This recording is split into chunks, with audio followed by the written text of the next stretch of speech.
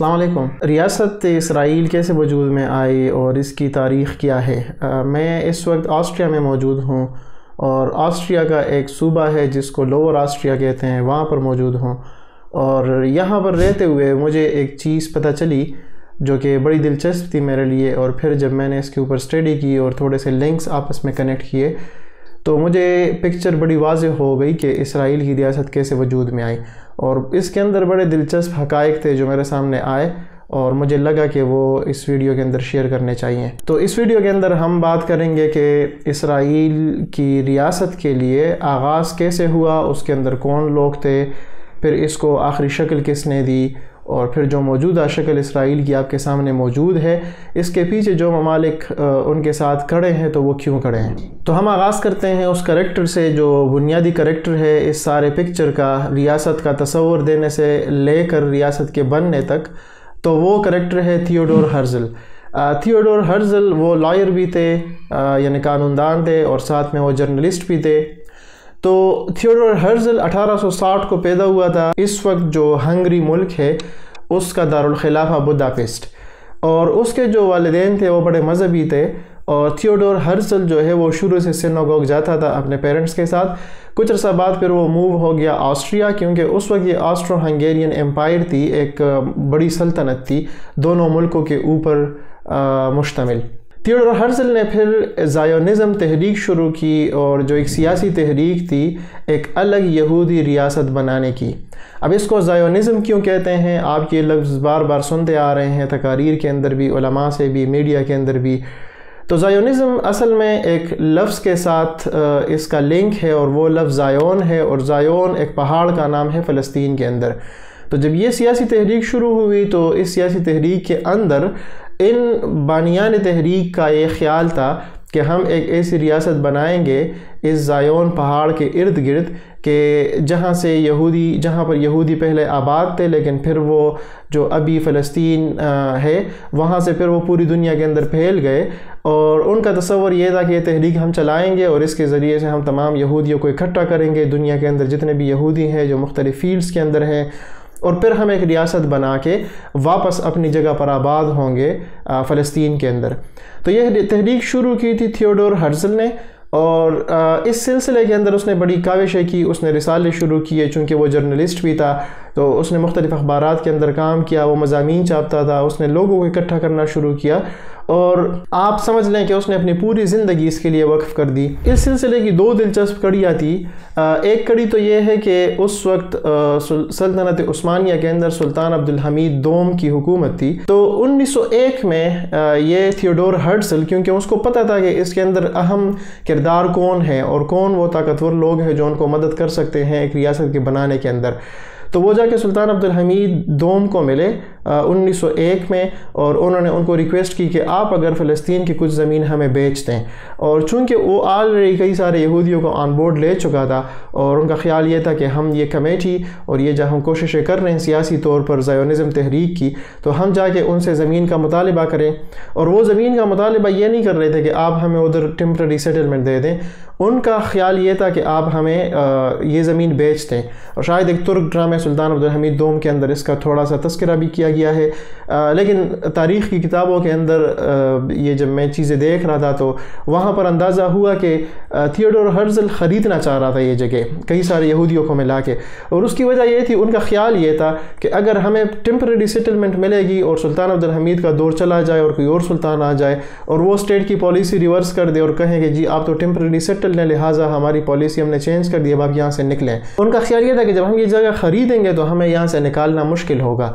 تو اس کے جواب میں سلطان عبدالحمید نے انکار کر دیا اور انہوں نے کہا کہ یہ زمین میری نہیں ہے، یہ میری ذاتی ملکیت نہیں ہے کہ میں یہ آپ کو دوں یا آپ کو بیچوں۔ اور یہ جو ہے، یہ اس قوم کی زمین ہے جو سلطنت عثمانیہ کے انڈر ہے اور یہ اس طرح سے نہیں دی جا سکتی۔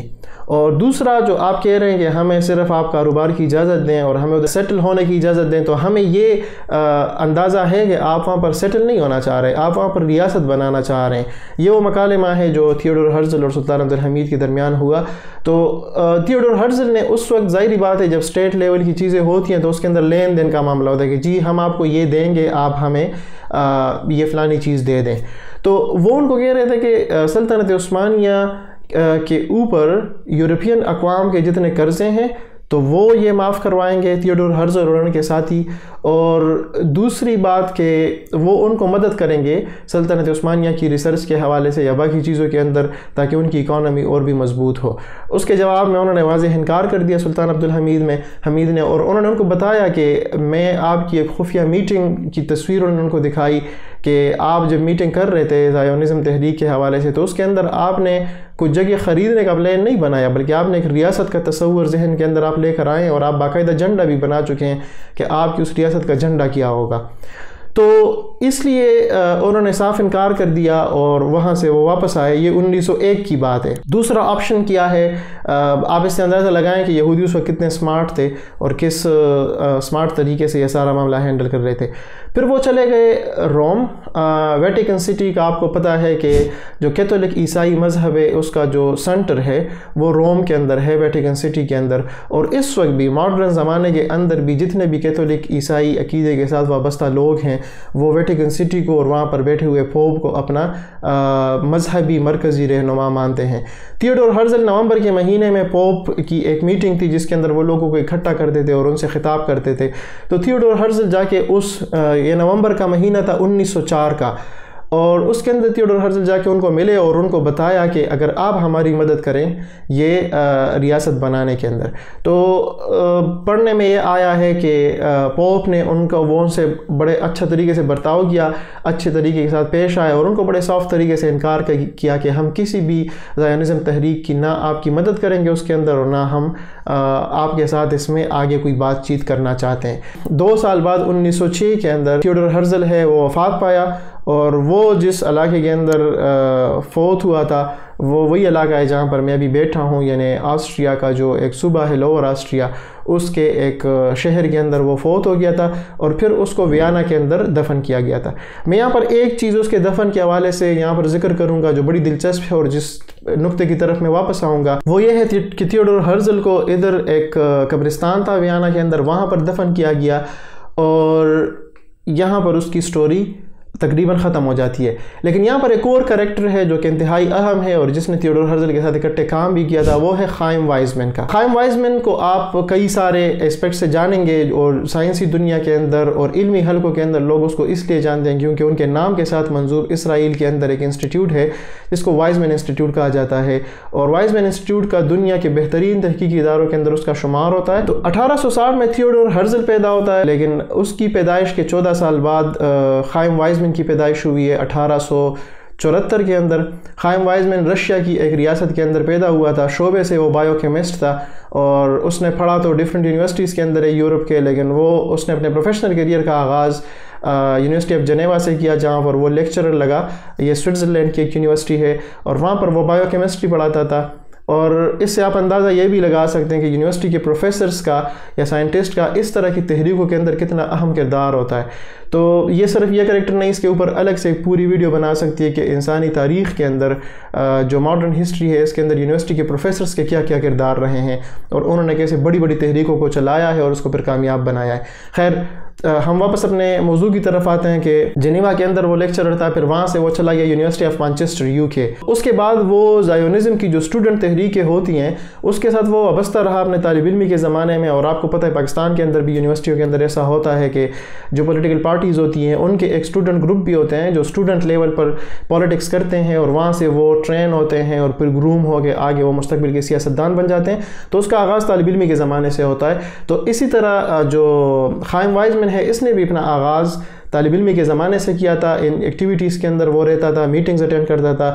زیونزم تحریک جیسے میں نے شروع میں کیا، شروع میں بتایا کہ شروع تھیوڈور ہرزل نے کی تھی، لیکن اس تحریکوں کے ساتھ یہ وابستہ رہتا تھا اسٹوڈنٹ لیول پر اور میٹنگز میں بیٹھتا تھا۔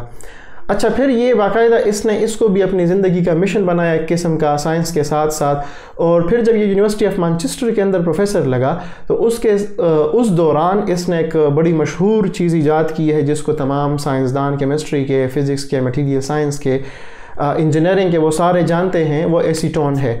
اور ایسیٹون جو ہے، یہ خائم وائزمن کی ایجاد ہے۔ اس کے علاوہ اس نے تقریباً ہنڈریڈ پلس ایک سو چار یا ایک سو چھ ریسرچ پیپر پبلش کیے تھے۔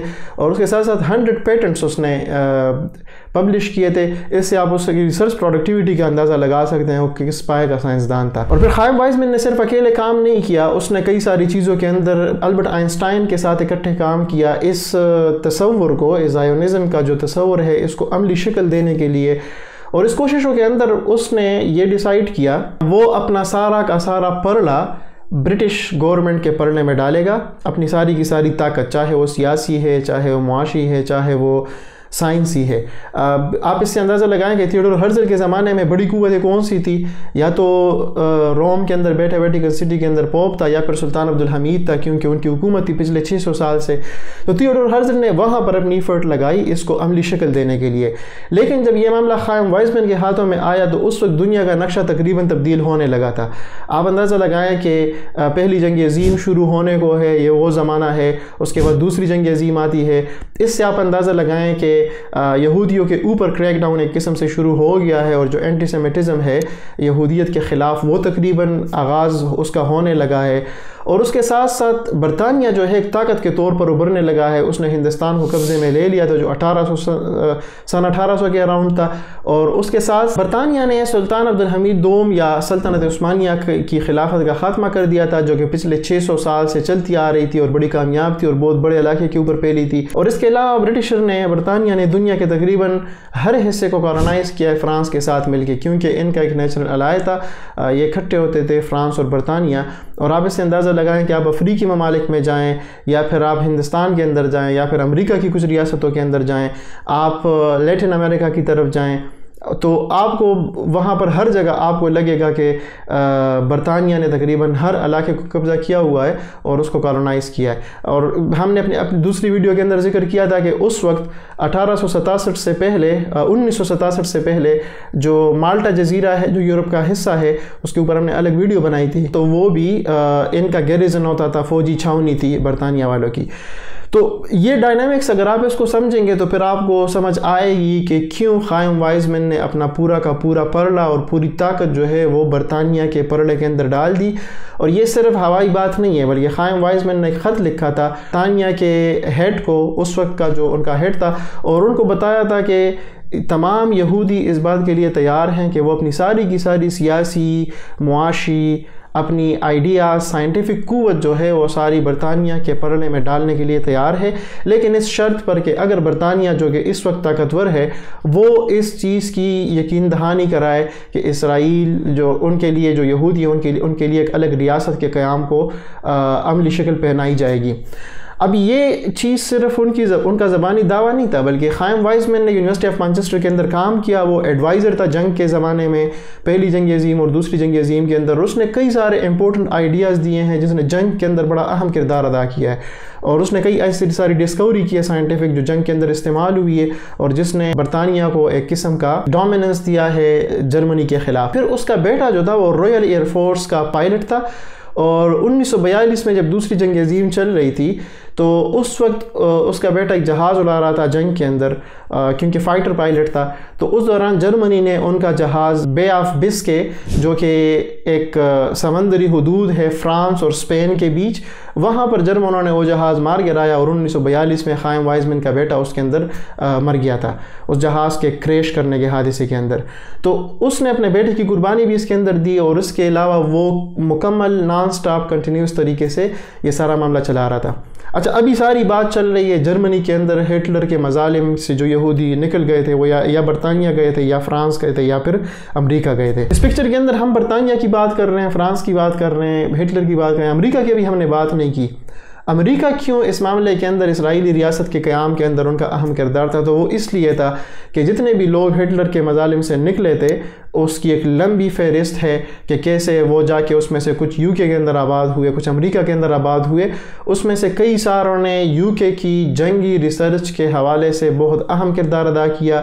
اور امریکہ کے ایٹم بم بنانے کے اندر آپ سمجھ لیں کہ آدھے یا آدھے سے زیادہ بہت بہت باری تعداد میں لیڈنگ رول کے اوپر آئیڈیاز دینے کے رول کے اوپر زیادہ تر یہودی تھے۔ اس کے اوپر ہم نے الگ ویڈیو بنائی تھی کہ امریکہ نے ایٹم بم کیسے بنایا اور آپ کو اندازہ ہوگا کہ اس کے اندر جو خط امریکی صدر کو لکھا تھا، آئنسٹائن، لیو زیلارڈ اور ایڈورڈ ٹیلر، یہ تین لوگ تھے، تینوں کے تینوں یہودی۔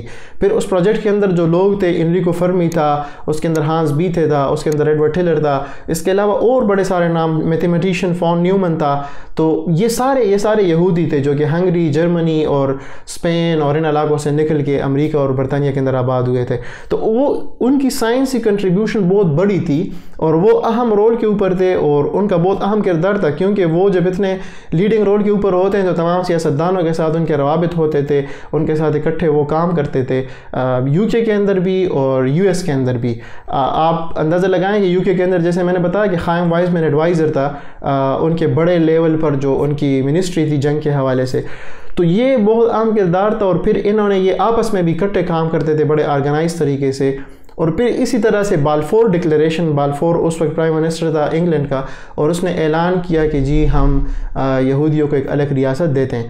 اب دلچسپ بات کہ زائونزم کی تحریک شروع ہوئی ہے تھیوڈور ہرزل کے زمانے سے، اٹھارہ سو سمتنگ میں اور کچھ چار پانچ دہائیوں کے اندر انہوں نے یہ اچیو کر لیا کہ انگلینڈ جو اس وقت کی طاقت تھی، انہوں نے انیس سو سترہ میں اعلان کیا۔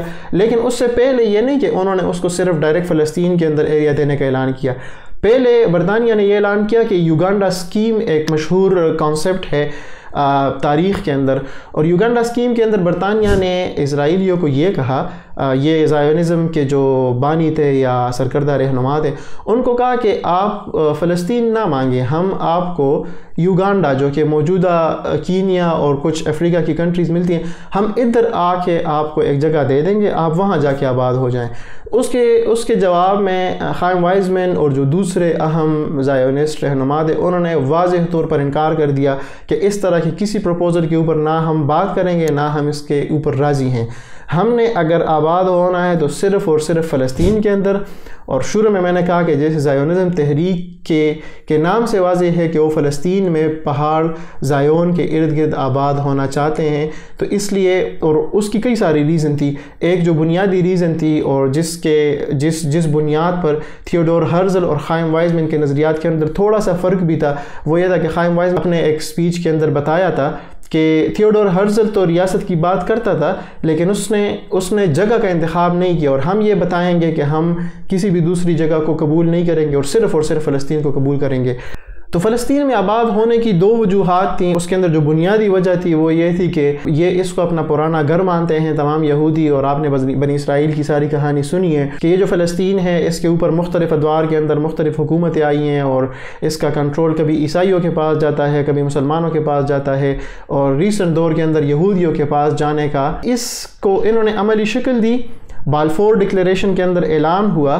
باقاعدہ طور پر ریاست کا اعلان سن انیس سو اڑتالیس کے اندر ہوا اور یہ چودہ مئی کا دن ہے اور بن گوریون جو کہ ایک سیاسی سرگردہ رہنما تھے اس ریاست کے خواب کو پورا کرنے کے لیے انہوں نے اس کا اعلان کیا۔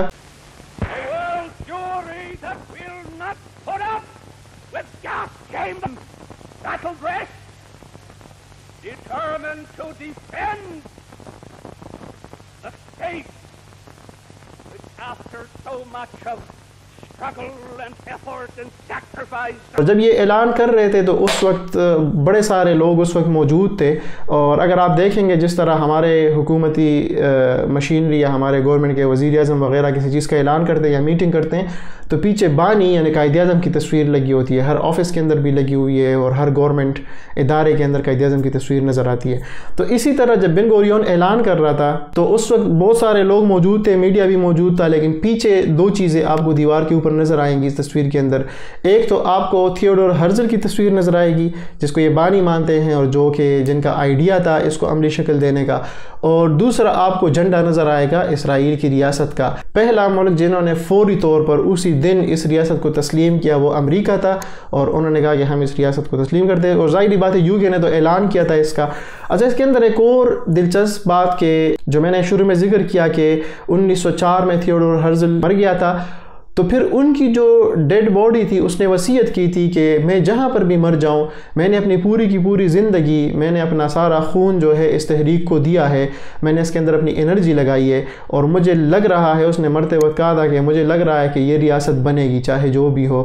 تو اگر میرے فوت ہونے کے بعد جب ریاست بن جائے تو میری ڈیڈ باڈی اور میرے تمام جو خاندان کے افراد ہیں، ان کی ڈیڈ باڈیز کو جا کے اس ریاست کے اندر دفن کیا جائے۔ انیس سو چار سے آپ اندازہ لگائیں، یہ وصیت ہوتی ہے اور پھر ریاست وجود میں آتی ہے انیس سو اڑتالیس میں۔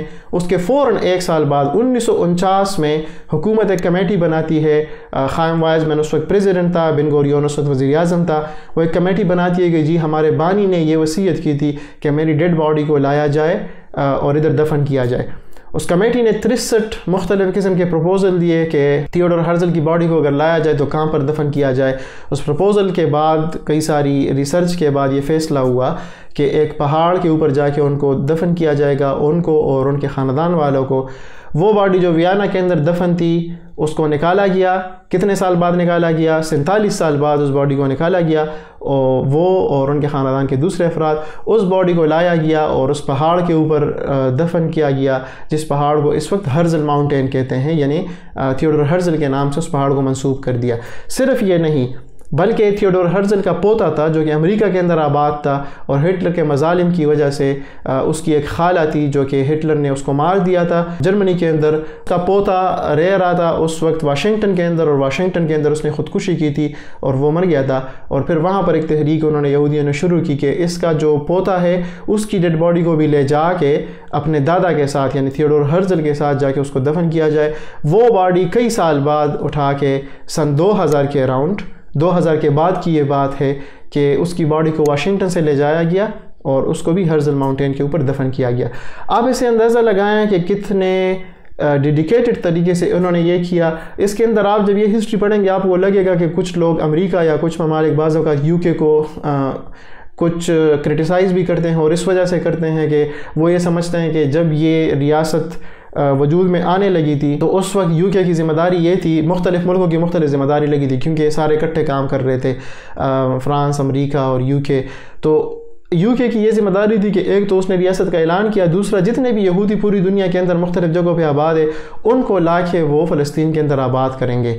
تو جب وہ یہ کرنے لگے، تو اس دوران عرب ملک جو ہیں، سیریا ہے، قریب، جارڈن ہے، ایجپٹ ہے اور فلسطین ہے۔ تو انہوں نے ایک تحریک کا آغاز کیا کہ ہم یہ نہیں ہونے دیں گے، کیوں آپ ان کو لا کے ادھر آباد کر رہے ہیں؟ اور انہوں نے اس کے خلاف مزاحمت شروع کی اور اس لیے امریکہ اور بعض ممالک کہتے ہیں کہ یہ یو کے اس وقت دیکھتا تھا کہ عرب آ کے ان اسرائیلیوں کو مار رہے ہیں، یہودیوں کو مار رہے ہیں، لیکن یہ ان کو کچھ نہیں کہتے تھے۔